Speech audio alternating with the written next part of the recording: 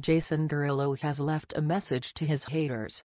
On Sunday, September 28, the Talk Dirty singer took to Instagram to share a post addressing people who keep criticizing him following his split from Jordin Sparks. The post features a photo of Leonardo DiCaprio and a message which reads, Cheers to my haters. Be patient, so much more is coming.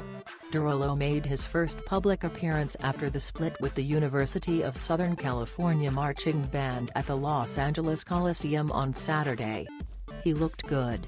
He was all smiles. After singing, he turned around and thanked the band. He seemed genuinely grateful for the opportunity to perform with the Trojan Marching Band, a source told E! News of his performance. Reports of the couple's separation hit the web on Friday. In an interview with KDWB, Derulo explained that everything was cool between him and the American Idol alum. I spent three great years with Jordin and she is one of the most amazing people that I have ever met. But as in all relationships there are ups and downs and at this time we have decided to amicably part. Infidelity, cheating or deceit played no part in our relationship or our breakup, and I hope that people respect our privacy as we move forward with our lives, he added to ABC News.